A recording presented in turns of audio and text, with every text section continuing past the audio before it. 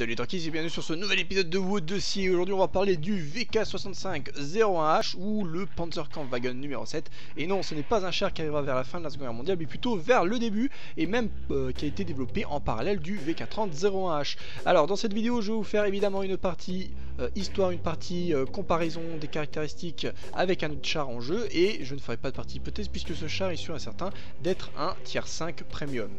Le VK6501H est un projet qui suit celui du DW1 et 2 et développé en début des années 1939. Il est en parallèle, comme je l'avais expliqué, euh, conçu avec le, VK3001H et tous les deux faits par la société Henkel ou Henschel, je ne sais pas comment ça se prononce. Il gardera l'aspect du DW mais avec un blindage plus épais atteignant les 80 mm, permettant ainsi de résister à des canons de 5 cm. L'objectif de ce char était l'attaque de fortification grâce à son blindage. Son poids atteignait les 65 tonnes et avait une vitesse comprise entre 20 et 25 km/h.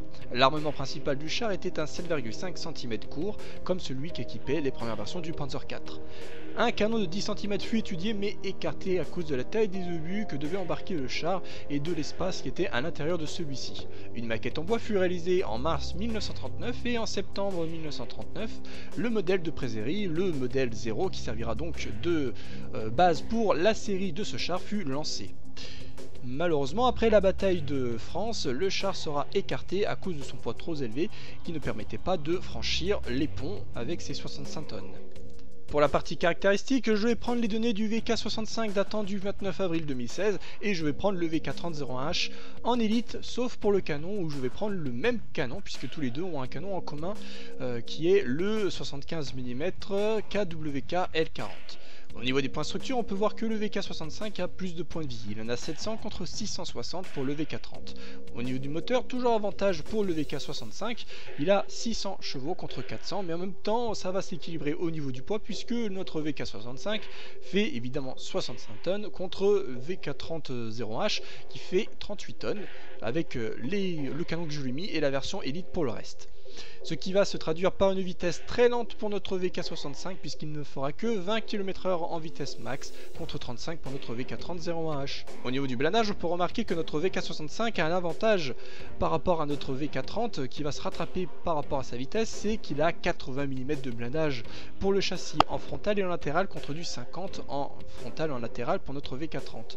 Au niveau de la tourelle, les deux chars atteignent 80 mm de blindage de face, mais en latéral, notre VK65 a 80 mm contre 60 pour notre VK30. Pour le canon, comme je vous l'avais expliqué, j'ai pris le 75 mm KWK L40 pour le VK30 car c'est le canon qui équipera notre VK65.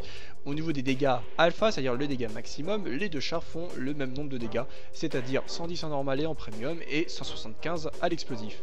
Pour la, pour la pénétration, une je ne sais pas pourquoi, mais le VK65 fait moins de pénétration que notre VK30, puisqu'à l'obus normal il en fait 92 contre 103 pour le VK30, et à l'obus premium il fait 124 contre 139 pour notre VK30. Donc un avantage pour le VK30 malgré qu'ils aient tous les deux le même canon.